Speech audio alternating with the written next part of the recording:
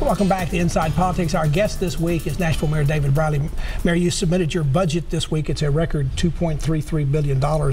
As a part of that, you're increasing the amount of money that the city spends in debt service to pay That's off right. its debts for particularly for capital expenses by 15%. That's now, one of your opponents, who is a council member at large, John Cooper, has been complaining that the city has maxed out its credit card. Is is that right? Is that why we're having to put 15% more dollars in it? And how many dollars are we talking about?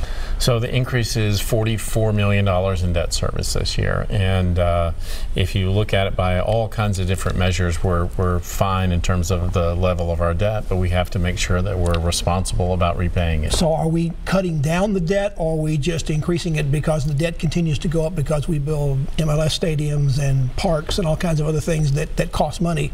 Are we getting are we getting ahead on this or are we just barely staying even? So we're paying down the debt on a, in a normal scale now. Part of the increase this year came from a refinancing that took place during the recession back in 2010, and uh, but part of it is just through the issue, issuance of new debt. So and there was a balloon on that on the refinancing. there was there, there was a balloon on And that. we've got the balloon. We're still dealing with the balloon right now. n- I think this was the last year, I, I believe, on, on that. So we issued 750 million dollars of new debt last year. That was all uh, uh, almost exclusively related to streets and roads and parks and things that we had done in the prior few years.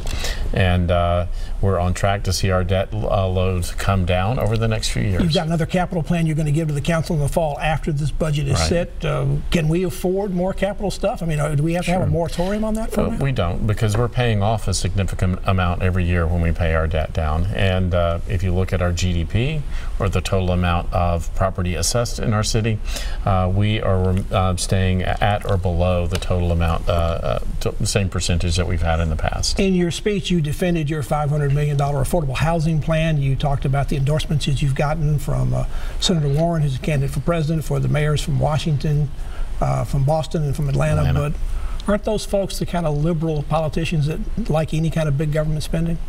Well, I think they are individuals who are confronting the same confront uh, issues we confront here in Nashville. That if you want to maintain a city where the folks who built it over the last uh, decades and generations can uh, stay to live there, the city has to get engaged on maintaining housing affordability. And so, uh, I believe their praise was uh, was appropriate. You didn't uh, mention anything about private support for this. You you, Mm-hmm. you had asked challenged the, the, the private sector to come up with 250 million dollars to go with what you're doing. Uh, are you not getting much response on that? No, we're getting a lot of response on that. Uh, So how the- come we haven't heard any announcements? Well, uh, I can't announce everything in one speech, but uh, we continue to work on that. The private sector is very interested.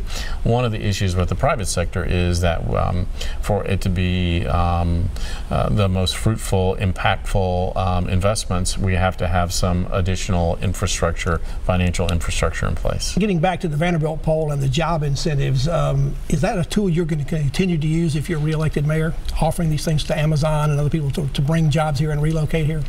Well, I, it- one of my most important uh, jobs is to make sure we have jobs.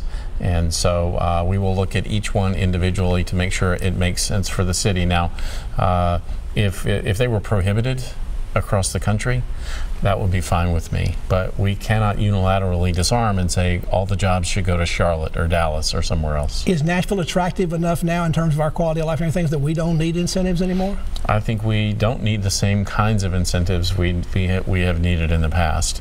But I do think as we look at jobs uh, and wanting to make sure that everybody in our city has a chance to participate in prosperity, we can't take it off the table. Those who we give incentives, those companies and corporations, shouldn't they at least be paying some kind of federal corporate taxes like Amazon is not? Well, uh, if I were in charge of the federal government, I would probably want to see us do that, uh, but I'm not. And uh, what we have to be cautious about in, in our city is making sure that as the economy grows and changes, that we have those growing uh, jobs in our community. And I think that's why Amazon made sense. Are you actively negotiating any job incentive deals right now? I mean, these things are No. no, and you don't plan to have any between now and the election.